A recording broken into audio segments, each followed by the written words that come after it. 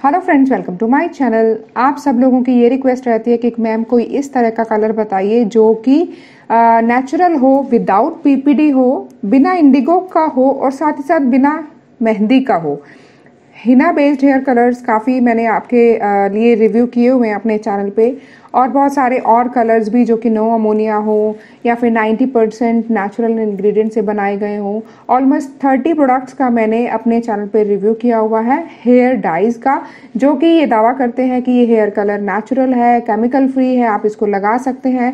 With demo मैंने सारे जो हेयर कलर्स हैं, आपके साथ शेयर किए हुए हैं। नाउ आप लोगों की डिमांड पे मैं सर्च करती रहती हूँ कि कौन सा ऐसा नया कलर मार्केट में आया है जो कि यूज़फुल हो आप लोगों के लिए और नेचुरल हो। जितना ज़्यादा नेचुरल हो, उतना मैं उसको जल्दी से मंगा के टेस्ट करती हूँ और आपके लिए शेयर करती हूँ। तो आपको मेरे अगर एफर्ट्स ठीक लगते हैं तो आप इसे लाइक और शेयर ज़रूर करिए वीडियो को और साथ ही साथ कमेंट करके ये बताइएगा कि जो भी रिव्यू है ठीक लगता है आपको या कोई मॉडिफिकेशन की ज़रूरत है।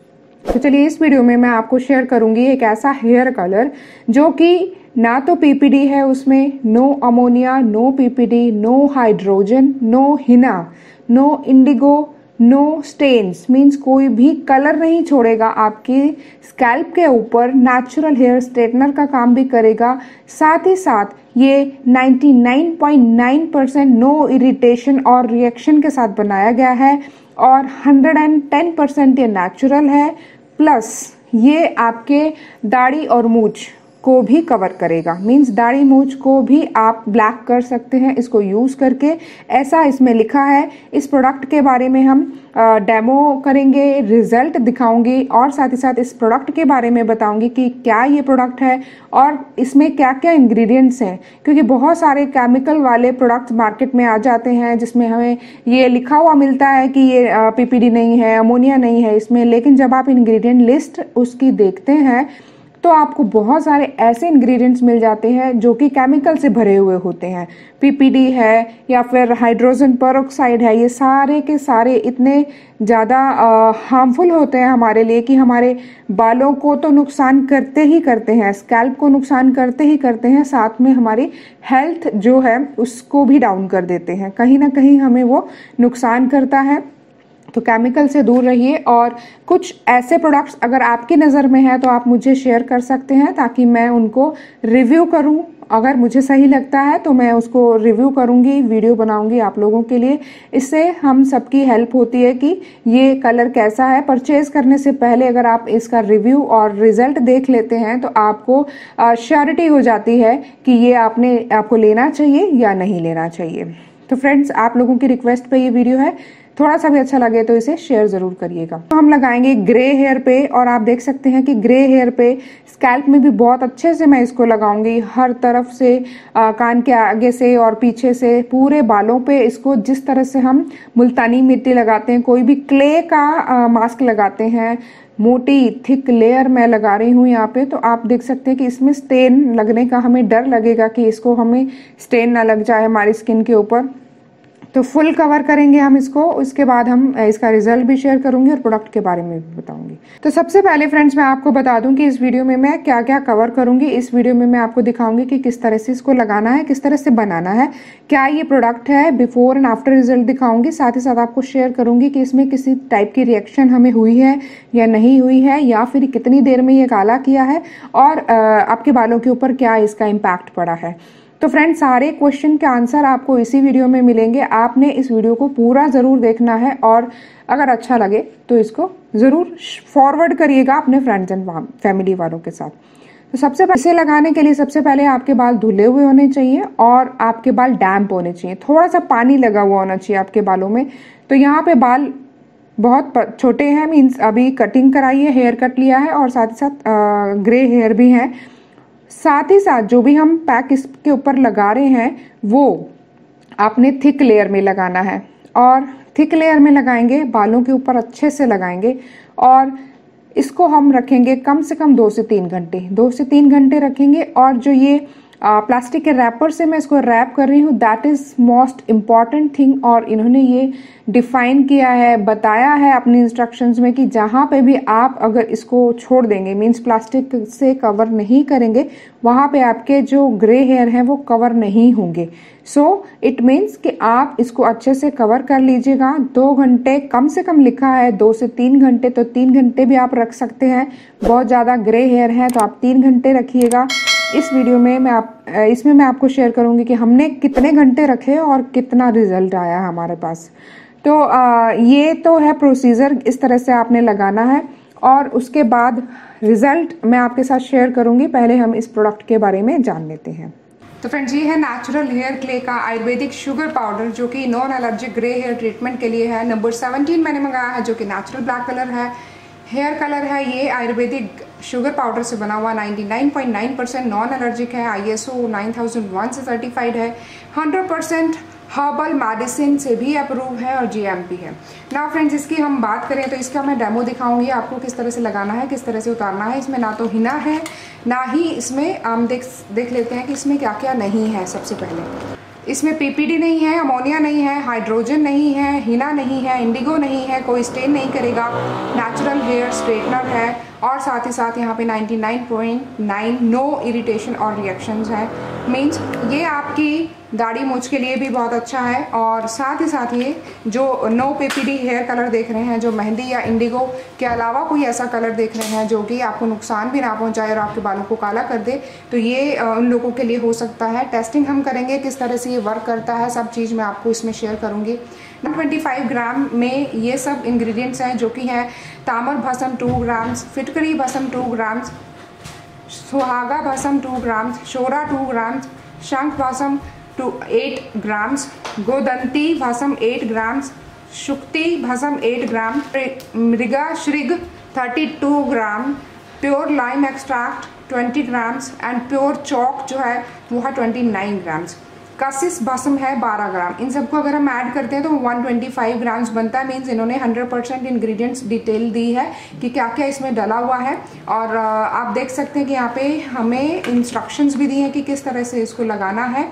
सबसे पहले आपने इसको पानी के साथ किसी भी के कंटेनर में आप इसको बना सकते हैं। जिस तरह से हम थिन पेस्ट बनाते हैं पानी को यूज़ करके, और उसके बाद आपने इसको अप्लाई करना है। तो चलिए इसको हम अप्लाई करेंगे, और कितने घंटे के लिए रखना है साथ साथ मैं आपको बताऊँगी, और साथ साथ आपको वॉश करके भी दिखाऊँगी कि किस तरह से इसका कलर आया है।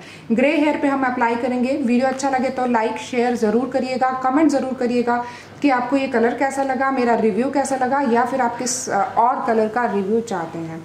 तो चलिए पहले देख लेते हैं कि इसमें है क्या क्या। एक्चुअली ये इसी तरह से मेरे पास आया था और यहाँ देख सकते हैं आप दो यहाँ पे पैकेट्स हैं दो पैकेट्स हैं और इसको हम यूज़ करेंगे हेयर पे तो इसलिए हमने पहले कांच का बाउल ले लिया है। सो आई थिंक ये मैं जेंट्स के हेयर पे अप्लाई करूँगी। सो so, यहाँ पे आपको हाफ़ हाफ़ पाउच जो है वो इनफ होगा यूज़ करना। ये आप देख सकते हैं, ये इस तरह से है। ऑर्डर फॉर्म में। यहाँ पे मैंने हाफ़ से भी थोड़ा सा कम मैंने ले लिया है।